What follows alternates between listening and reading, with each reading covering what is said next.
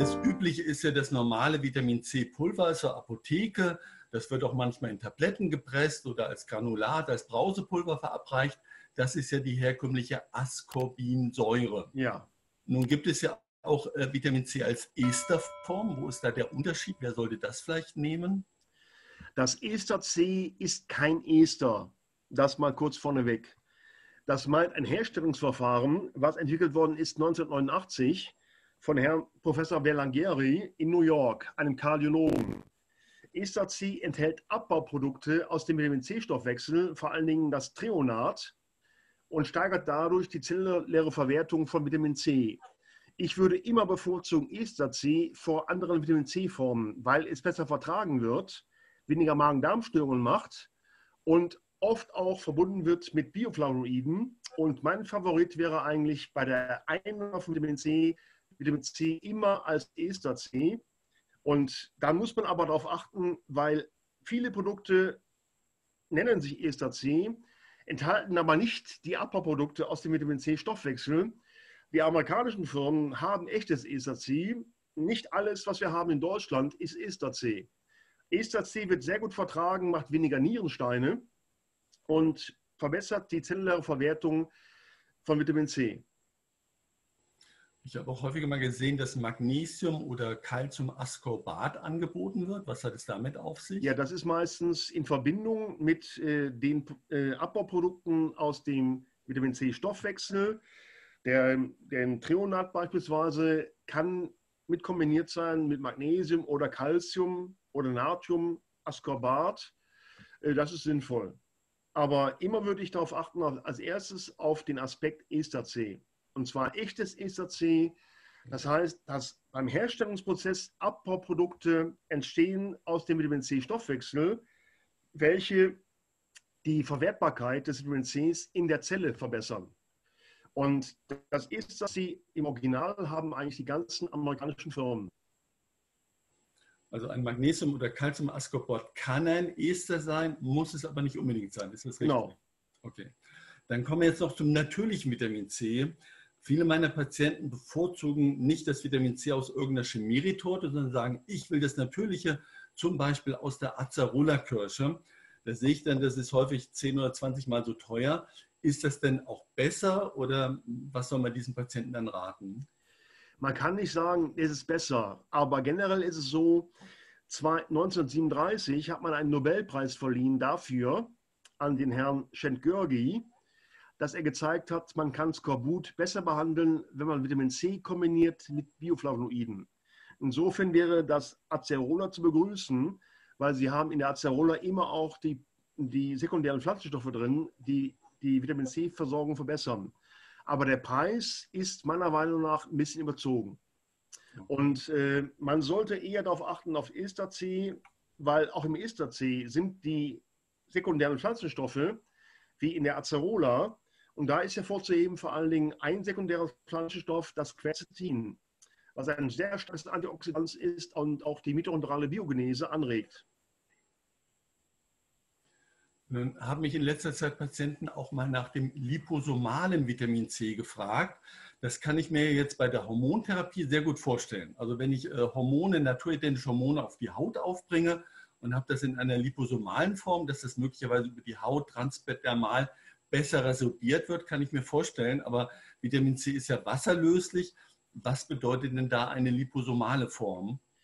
Also äh, erstmal macht das gar keinen Sinn, weil die Blutspiegel, die man erzielt durch solches Vitamin C, sind maximal zu sehen im Bereich von 400 bis 450 Mikromol pro Liter. Normales Vitamin C erreicht Blutspiegel von 240 Mikromol pro Liter.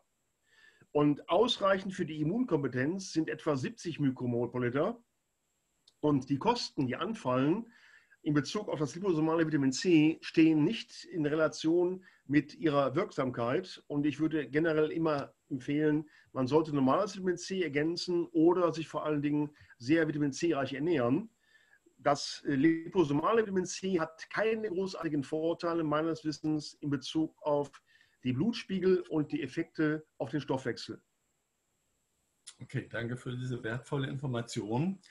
Ähm, du hast ja schon mehrfach die Blutspiegel erwähnt und wie hoch die sein sollten. Macht es denn für den Normalbürger nun Sinn, denn auch den Vitamin D, Vitamin C-Spiegel regelmäßig zu messen, wie wir das beim Vitamin D etwa gerne haben? Beim Vitamin D natürlich macht es Sinn, aber beim Vitamin C nicht.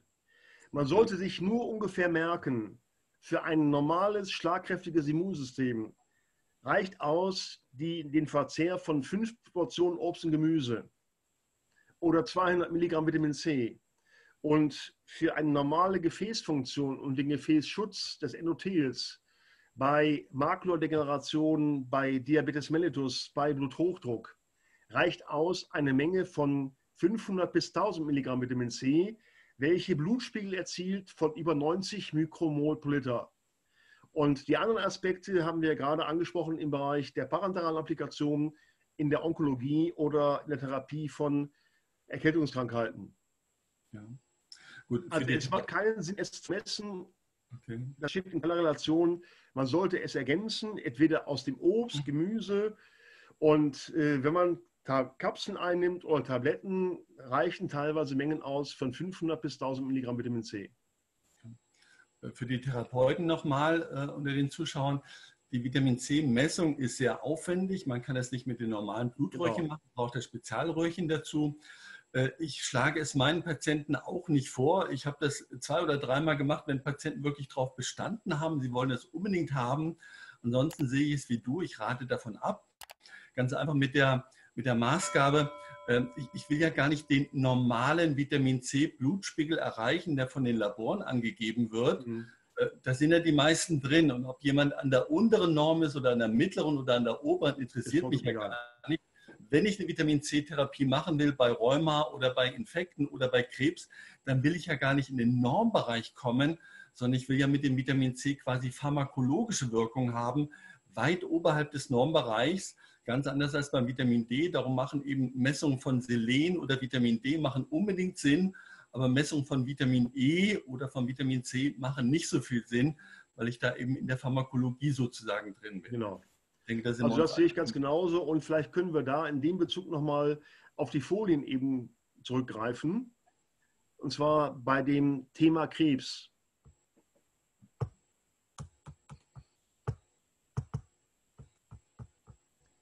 Nächste Folie. Eine Folie weiter. Und zwar äh, die Folie 12. Äh, da ist quasi aufgeführt ein Dosierungsschema von mir in der Onkologie, was teilweise reicht bis auf 150 Gramm Vitamin C pro Infusion.